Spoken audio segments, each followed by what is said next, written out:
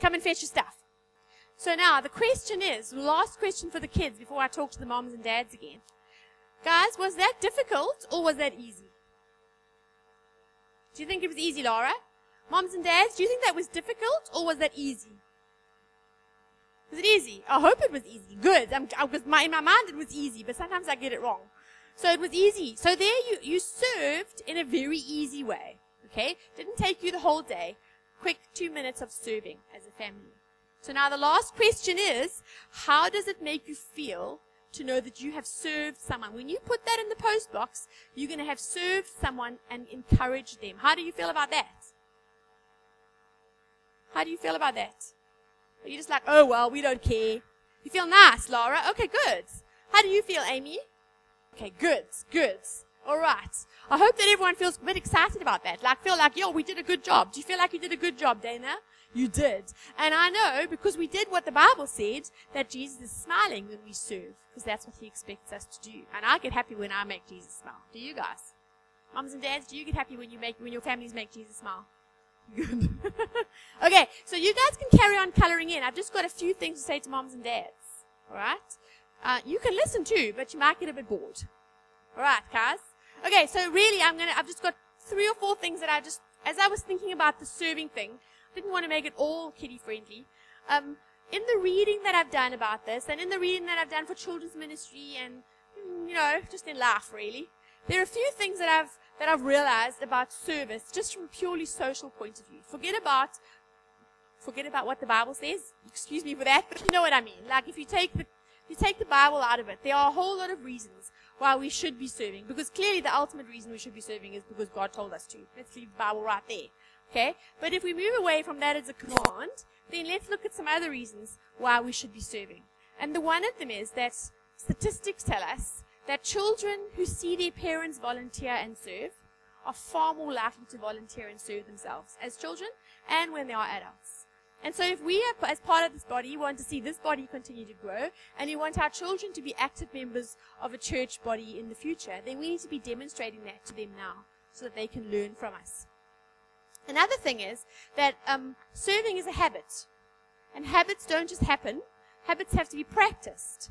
And the perfect place to practice a habit, really, is at home.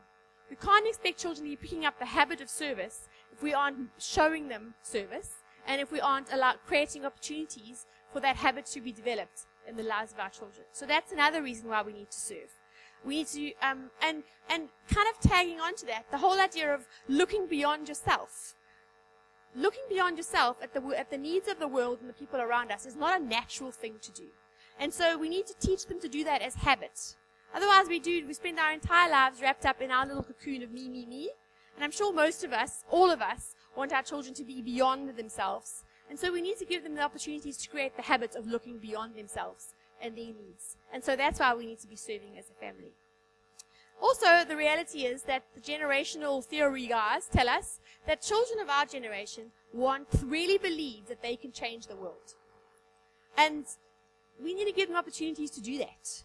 And yes, that postcard might not change the world, but that postcard will change the life of the person who receives that message.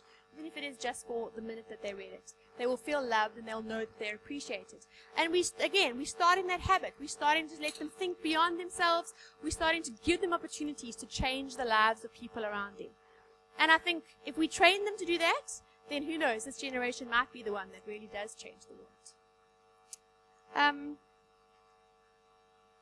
yeah, back to the Bible perspective.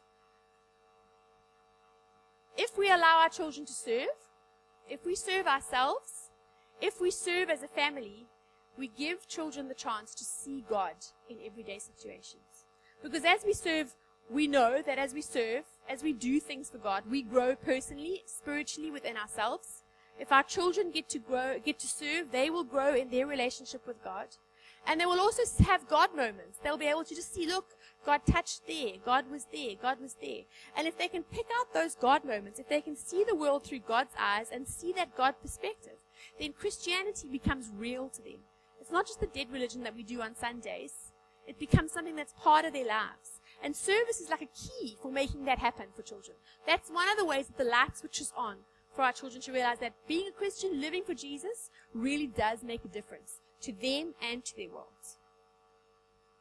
And their faith grows, and our faith grows, and as a family we grow in our relationship with God. And so I think that sells service for me.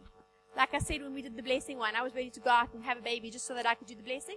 I'm kind of ready to go out and gather a bunch of kids together so that I can see them seeing God in the world around them. I think that's such an exciting thing to be able to be part of that. To be able to be part of watching them grow, even in their faith steps. In the beginning, writing a little card might be a really scary thing because we don't know that person and it's a bit intimidating. But keep practicing that, keep doing the service. Two or three years down the line, who knows what they'll be doing to serve and what you'll be doing to serve as a family. Because as you make yourself open to, to the promptings of God, as He opens your eyes to new things, you could be doing amazing stuff to change our world. And so, yeah, that's really it. What I would like to do now is I'd just like to pray for all of you, and then I have a little thing for everyone to take home, and I need to explain that to you. All right. So perhaps if we can all just pray together. Lord Jesus, I thank you for the families that came here today, just to spend some time thinking about serving and about what your what your word says about serving as a family. Lord, I pray for each family that's represented here, that you will just continue to prompt them in their service, that you will grow them all in their faith and in their understanding of you, that you will create opportunities for them to impact their world. Jesus, we just commit them to you and ask your Spirit will make service opportunities plain to them, that they'll be blessed as they bless others. Amen.